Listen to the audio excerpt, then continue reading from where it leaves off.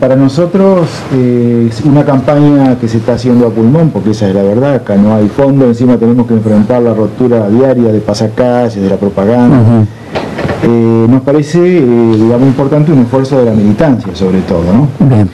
y nosotros, bueno, digamos, apostamos a justamente un consejo municipal pluralista donde no haya mayoría automática, o sea, la máquina de votar. No queremos la máquina de votar, si no queremos el debate, que las propuestas de los vecinos a través de los concejales o a través de los mecanismos que correspondieran lleguen al consejo, las audiencias públicas, en fin, todos los mecanismos existentes, para que pueda haber un debate pluralista. O sea, y nosotros queremos ser parte de eso porque expresamos a un sector de la, de la población. Digamos que el tema de la recuperación de la ética pública es muy importante para nosotros porque es la base para cualquier tipo de proyecto. Porque podemos tener los proyectos más brillantes, pero si no hay transparencia en el manejo de la administración, ¿no es cierto?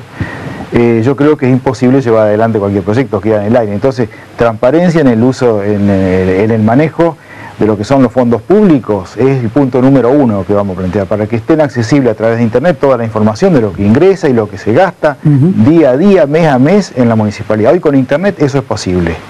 El tema de la también nos parece que la austeridad también es importante. Yo personalmente he comprometido en ese acto de que no voy a cobrar eh, personalmente más que mi sueldo de profesor, que la diferencia, si hay diferencia con sueldo de concejal, va a quedar para el desarrollo del movimiento político, social y cultural, que es Proyecto Sur. Es una forma, digamos, de marcar, desde nuestro punto de vista, por supuesto, lo que, el compromiso que asumimos con la ciudadanía. Sobre la base, digamos, de estos conceptos, eh, tenemos una serie de propuestas. Este tema de transporte que vos me decías, nosotros eh, lo planteamos a nivel local, o sea, transporte urbano y transporte interurbano.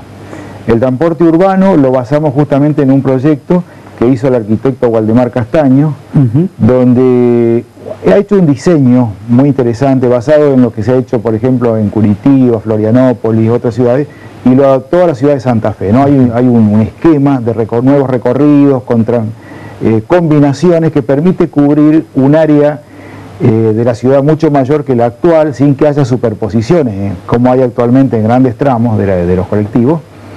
Y con esto se reduce el recorrido total a la mitad.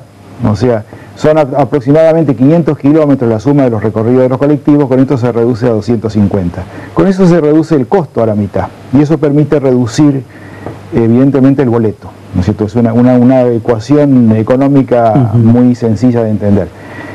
Para esto, bueno, acá están planteadas dos líneas testigos municipales, eh, en principio, eh, el resto serían privadas por ahora, y a la larga nosotros pensamos que todo el sistema tendría que ser municipal, ¿no? en la medida que haya posibilidad de eh, una administración este, coherente, ¿no es cierto?, para esto, pensando en que un servicio público no tiene por qué dar ganancia, porque ahora en realidad tampoco da ganancia, las ganancias son ficticias, o sea, en este momento se le está poniendo dinero del Estado nacional y del Estado municipal para generar ganancias ficticias de las empresas. Me parece que eso no, es, no corresponde, en todo caso, bueno, si se pone dinero, que eso sea de, eh, digamos, del Estado, digamos, propiedad del Estado.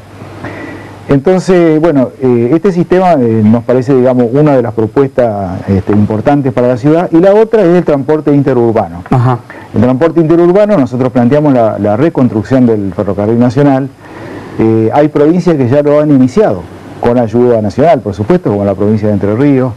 Ahora la municipalidad de la, de la ciudad de La Pampa lo ha declarado de interés municipal. Entonces, una municipalidad no lo va a poder hacer solo. Tampoco planteamos el trencito de paseo del molino, eh, eh, digamos, de acá de Boulevard hasta Recreo, que no es, el, no es ese el planteo que queremos hacer. Nosotros queremos recuperar, digamos, lo que son los ramales ferroviarios, el ferrocarril Belgrano, en principio, que es el más sencillo de reconstruir porque está en funciones para Belgrano Cargas. Eh, también con, tiempo habrá que ver el ferrocarril Mitre.